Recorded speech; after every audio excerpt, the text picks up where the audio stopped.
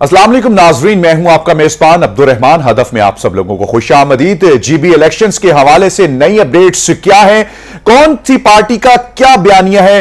और इस वक्त सर फहरिस्त जमात का क्या रद्द अमल है?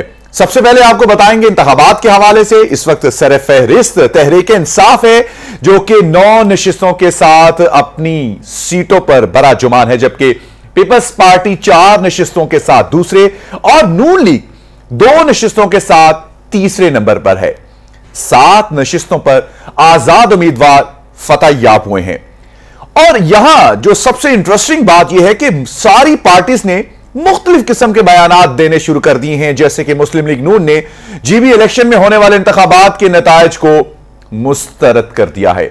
एहसन इकबाल ने इलेक्शन नतज के खिलाफ एहतजाज का ऐलान करते हुए कहा कि जीबी इलेक्शन से अवाम के हकूक पर टाका डाला गया। बात सिर्फ़ नून लीग के बयानिया तक नहीं है। पीपल्स पार्टी के चेयरमैन बिलावल भुट्टो जरदारी का भी बयानिया सामने आया है।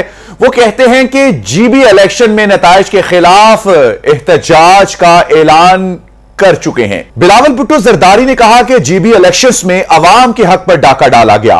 वोट का तहफुज करने वालों ने हुकूमत का साथ देकर ऑपोजिशन को मात दी है।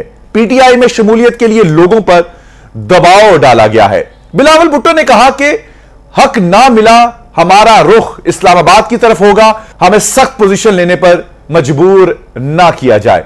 लेकिन बात सिर्फ़ पीपल्स पार्टी नून लीग तक खत्म नहीं होती। जनाब जमीयत उलमा इस्लाम फे के सरबरा।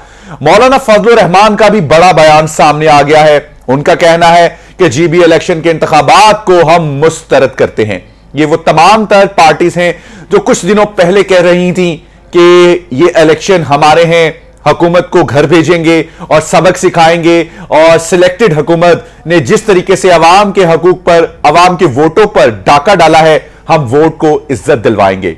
सफाफ शफाफ इंतबात तमाम तर ये इंतबात का क्रेडिट पाक फौज को जाता है, जिस तरीके से उन्होंने सिक्योरिटी प्रोवाइड की, दस अजला में एक हज़ार एक सौ इकसठ पोलिंग स्टेशन कायम किए गए, जिनमें से चार सौ अट्ठारह स्टेशन को इंतहाई हसास जबकि 311 को हसास करा दिया गया।